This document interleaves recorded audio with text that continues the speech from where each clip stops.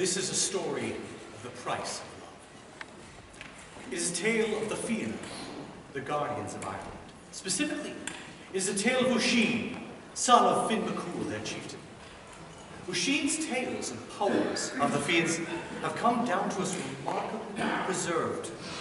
This is the story of how that came to pass. It was a misty summer morning on the shores of Loch Léin when a strikingly beautiful young woman appeared to Oisin and Finn and their companions. She was dressed like a queen, riding a white steed with golden shoes on its hoofs. Hail, Finn, son of Cool, she said. I have traveled over the waves to find you. I am Niamh of the Golden Hair, daughter to the king of Tir the land of youth. What drew me here is the love of your son Oisin, whose words and deeds have won him fame in my land.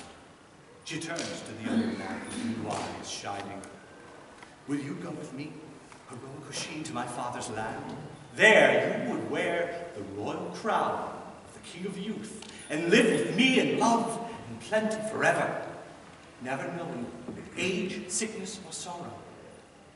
Oisin said to her, Every word you speak binds me as a spell well made.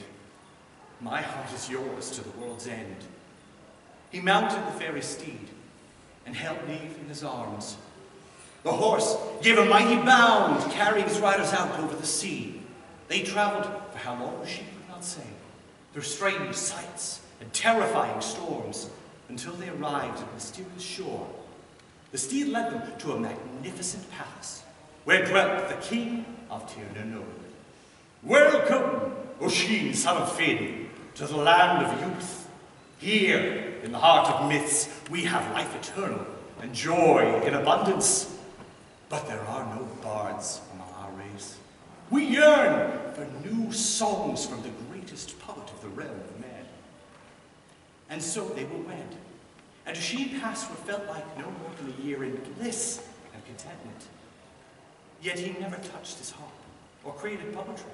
For each moment he lived was a perfection beyond compare, and no one thing could surprise or inspire him to set apart from anything else.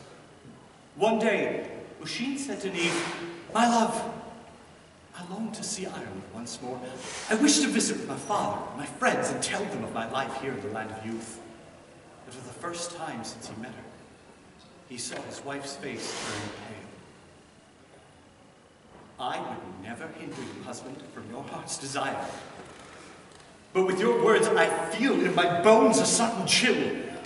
Is this what your people call fear? There is no need for fear, he reassured her. Your steed can take me safely there and back. I'll be gone hardly any time at all. Then promise me this.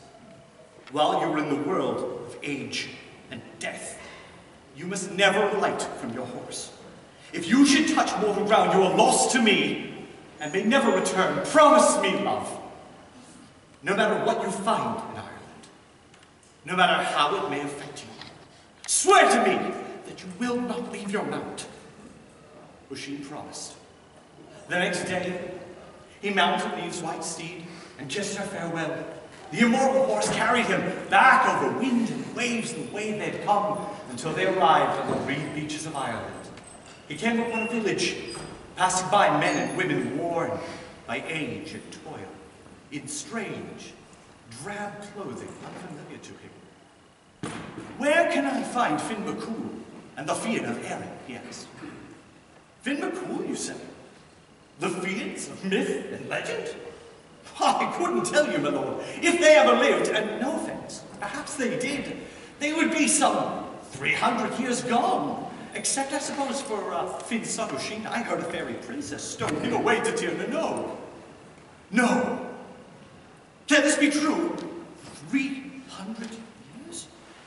Oisin raced his steed to the hill of Allen, the home fortress where he'd been raised. He found it at last, a roofless ruin, overgrown with weeds.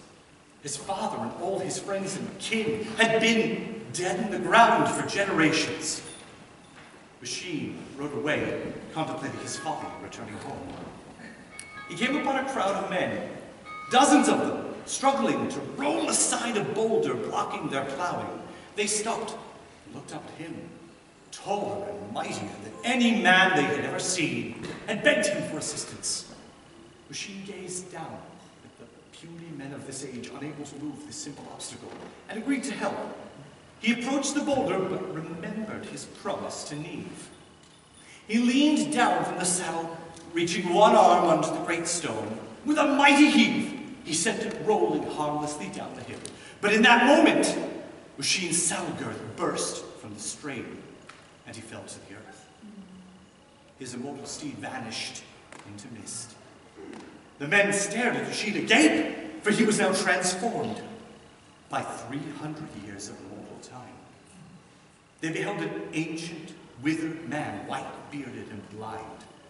His beautiful raiment had become coarse woven rags, and he could not stand without their help.